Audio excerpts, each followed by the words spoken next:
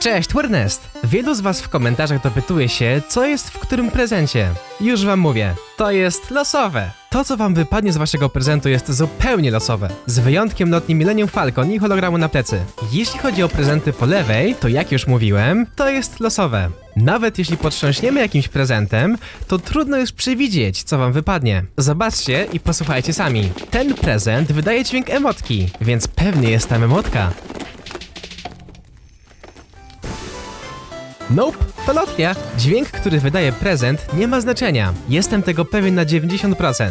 Może mieć znaczenie za to kolor opakowania. Zauważyłem, że ten oto zbierak wypadł wielu osobom z fioletowego prezentu. Na nowym koncie otworzyłem fioletowy prezent i proszę, zbierak. Więc tak, kształt, miejsce i dźwięk nie mają znaczenia, ale kolor już tak? No, na to niby wychodzi w przypadku tego zbieraka. Niestety nie mogę powiedzieć tego samego o innych kolorach. Srebrne prezenty ze złotą wstążką niby zawierają ekrany wczytywania, ale pewnej osobie wypadła z tego emotka.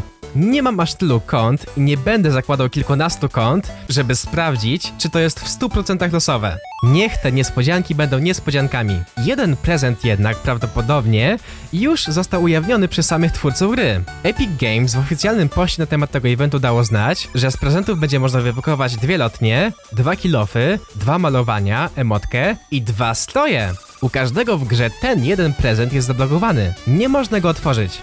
Jest tutaj napis Zostaw na koniec. Mi się wydaje, że w tym prezencie, który będziemy mogli otworzyć dopiero na koniec, czyli za te dwa tygodnie, będą stroje.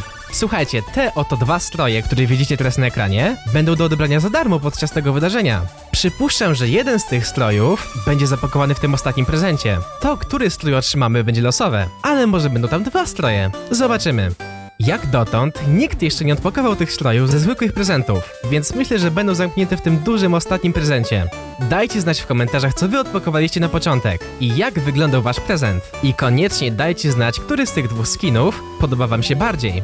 Tak swoją drogą to na zwiastunie tego wydarzenia przez chwilkę było widać zaszyfrowanego skina, który powinien wejść do sklepu za fodolce. Na koniec puszczę wam filmik pokazujący jakie nagrody mogą wypaść ze zwykłych prezentów. Więc, jeśli chodzi o malowania, to mogą wypaść fajerwerki lub świąteczne barwy. Poza tym możecie odpakować taką oto emotkę.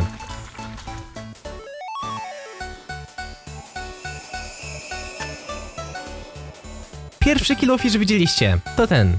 Drugi kilo za to jest podwójny i piernikowy. A oto lotnia, którą można odpakować. Druga lotnia to Millennium Falcon.